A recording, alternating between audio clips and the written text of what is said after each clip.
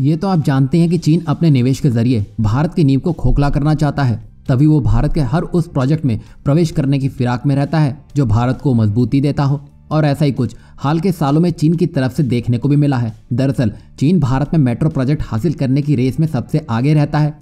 और इसके लिए वो कम से कम बोली लगाने से भी पीछे नहीं रहता है, जिससे वो आसानी से टेंडर भी जीत लेता है। और अंततः नतीजा ये होता है कि प्रोजेक्ट या तो पूरे नहीं होते हैं और अगर होते भी हैं तो कुछ न कुछ तकनीकी गड़बड़ियों के साथ ऐसा ही कुछ कोलकाता मेट्रो प्रोजेक्ट में देखने को मिला है, जहाँ तीन साल हो चुके हैं और तेरह मेट्रो ट्रेनों का इंतज़ार हो रहा है। और ऐसा ही कुछ बेंगलोर में देखने को मिला है, जहाँ बीएमआरसीएल यानी कि बेंगलुरु मेट्रो रेल कॉरपोरेशन ने चीन की C R R C corporation limited, जिसकी सहायक C R C C Nanjing पुंजन company limited को ज़बरदस्त झटका दे दिया है। यहाँ हम बता दें कि B M R C L ने दिसंबर 2019 में सीआरसीसी को 1578 करोड़ रुपए का टेंडर दिया, जिसमें 216 मेट्रो कोच बनने थे, जबकि सीआरसीसी ने समय रहते ये नहीं किया। ऊपर से सीआरसीसी को चौरानवे प्रतिशत स्वदेशी उपकरणों का इस्तेमाल करते हुए 216 मेट्रो कोचेस का निर्माण करना था। वो भी उससे नहीं हो रहा था। और तो और उसने ये भी कहा कि सीआरएससी को कॉम्बिनेशन टेस्टिंग और कमीशन की प्रक्रिया के लिए लोकल पार्टनर्स को खोजने में मुश्किल भी हो रही थी,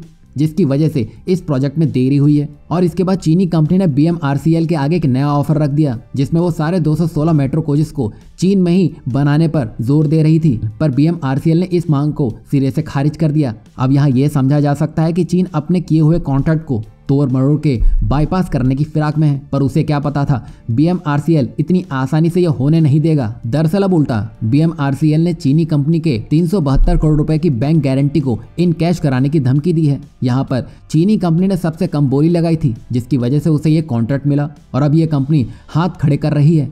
यहाँ हम बता दें कि कुल मिलाकर चार कंपनियों ने बैंगलोर मेट्रो के लिए बोली में भाग लिया था, जिसमें बीईएमएल यानी कि भारत अर्थ मूवल लिमिटेड ने 216 मेट्रो कोचेस के निर्माण के लिए उन्नीस सौ छियानवे करोड़ रुपए की बोली लगाई थी, जो कि चीनी फर्म की बोली से लगभग 418 करोड़ रुपए अधिक है, जबकि कनाडा की फर्म बम्बडियर दूसरी सबसे कम बोली अठारह सौ एक करोड़ रुपए की थी, और आखिर में एल्स्ट्रॉम इंडिया ने सबसे अधिक दो हज़ार बावन करोड़ रुपए की बोली लगाई थी। यहाँ आप देख सकते हैं, चीन की कंपनी ने कनाडा की फर्म बम्बडियर से 200 करोड़ रुपए की कम बोली लगाई थी, जिससे उसको ये कॉन्ट्रैक्ट हासिल हुआ। आपको याद नहीं है तो हम आपको बता दें कि बी वही कंपनी है जिसने सीआरआरसी को हराते हुए मुंबई मेट्रो कॉरिडोर के लिए तीन हज़ार पंद्रह करोड़ रुपए का ऑर्डर हासिल किया था। वैसे भारत अर्थ मूवर लिमिटेड की बात करें तो ये आज से नहीं, बल्कि स्वतंत्रता के समय से ही रेल कोच का निर्माण करने वाली सबसे पहली संस्था है। बाकी अनेक बड़ी संस्थाएँ इसके बाद आई हैं। ये देश में चल रही सभी मेट्रो की लगभग आधी हिस्सेदार है और अपने बल पर उनका स्वदेशीकरण कर रही है। अब देखना यह है कि आगे क्या होता है। क्या चीनी कंपनी मेक इन इंडिया के तहत स्वदेशी उपकरणों का इस्तेमाल करती है या नहीं? या आगे चलकर भारत की स्वदेशी कंपनियों को इसका मौका मिल सकता है?